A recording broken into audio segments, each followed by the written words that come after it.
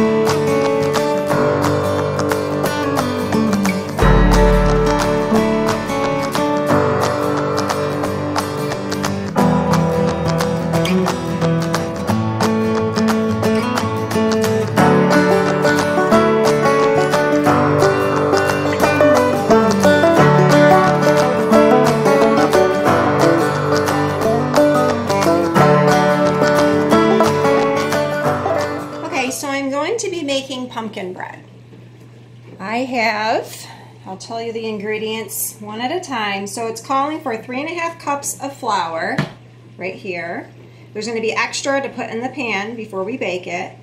We need three cups of sugar and we need one cup of vegetable oil, four large eggs, one 15 ounce can of pure pumpkin, the puree, two teaspoons of salt, which I'll take it from here because I was going to get my other salt, but I didn't. Um, and then we need to have two teaspoons of baking soda. We need one teaspoon of baking powder. We need one teaspoon of ground nutmeg. We need one teaspoon of ground cinnamon. And a half a teaspoon of ground cloves. And there goes my oven. It's ready to put something in it. It's just preheated. And we need two third cup of water.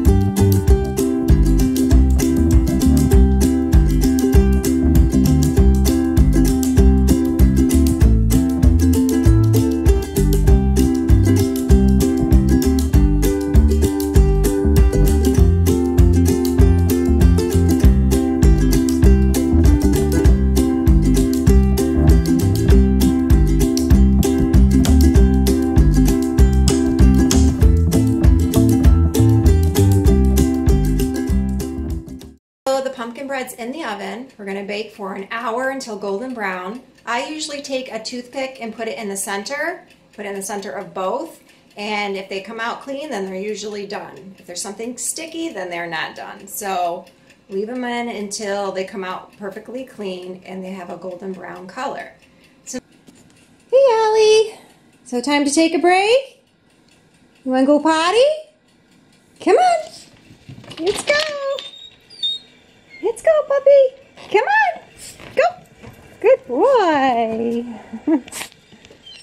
yeah, so we had to take a little break. He's begging me to go to the bathroom. He waits by the door, so I had to stop the cleaning and take him out to go potty. All right, buddy. Let's go. Go potty. Go. Go potty. Good boy. Go. Go on. Run, run, run.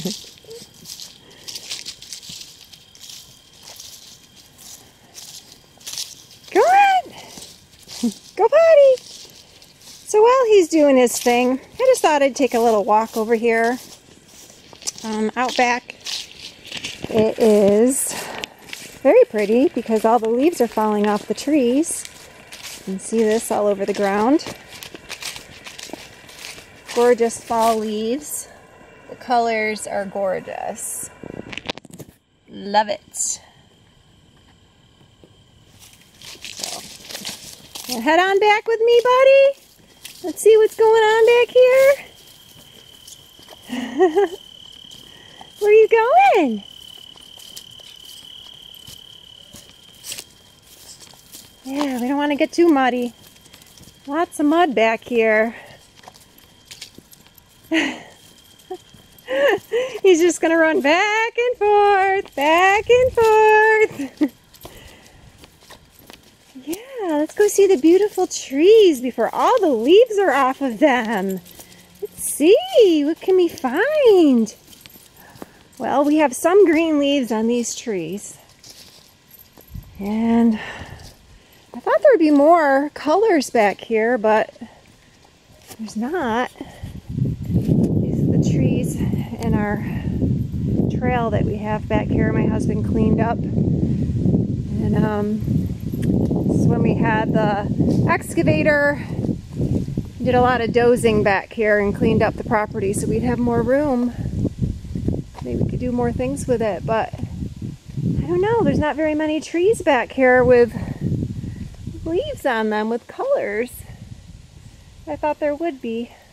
So I decided I'm going to work on scallop potatoes. My daughter Olivia has been begging me to make scallop potatoes for a long time. It seems like every night I don't have time. So I'm going to try to get it started. We have an hour before I have to leave to get the kids from school. I still have the pumpkin bread in the oven. It's going to be done in probably 10 minutes. So I'm going to get started on um, peeling the potatoes and cutting them up and putting them in the pan and that's it.